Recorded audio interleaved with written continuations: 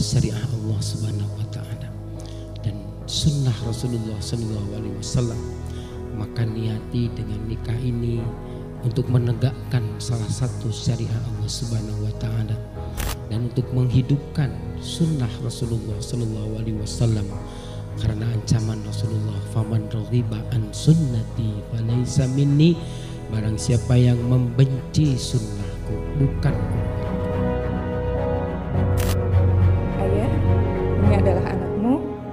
Depan ayah sekarang telah duduk sosok yang menanti keridoanmu. Dia adalah sosok yang cinta kepada Allah, cinta kepada Rasulnya, cinta kepada keluarganya, cinta dan sayang kepada ibunya. Jika ayah meridoi dirinya untuk mencintai ayah, mencintai keluarga kita, dan mencintai adik. Dari Batam ke kota Mekah Sampainya pula di waktu subuh Sambutlah salam agama bertuah Assalamualaikum warahmatullahi wabarakatuh.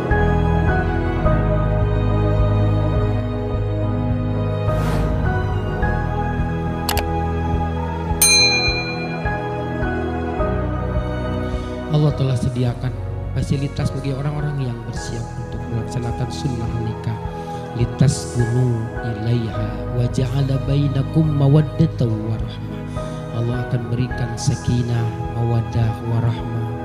Tetapi untuk mencapai ke situ ada kunci yang harus dilaksanakan.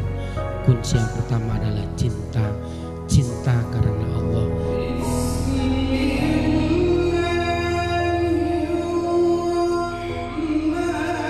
Cinta Ananda terhadap pasangan Ananda hendaknya didasari dengan cinta kepada Allah Subhanahu wa taala.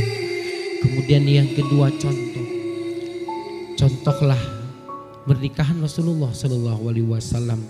Kemudian contohlah keluarga Rasulullah sallallahu alaihi wasallam. Contohlah keluarga orang tua kita yang telah berhasil menghantarkan kita ke mahligai pernikahan ini untuk mencapai kepada hal yang terbaik Pertama jadilah seorang leader, seorang pemimpin yang amanah, pemimpin yang terbaik, yang mencintai dan yang dicintai oleh istrinya.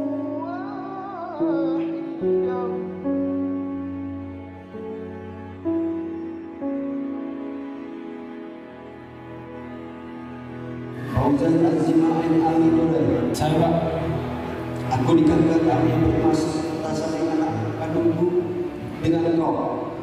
Dengan mas kawin sebentuk cincin emas, uang 17 real dan seperangkat alat sholat tunai.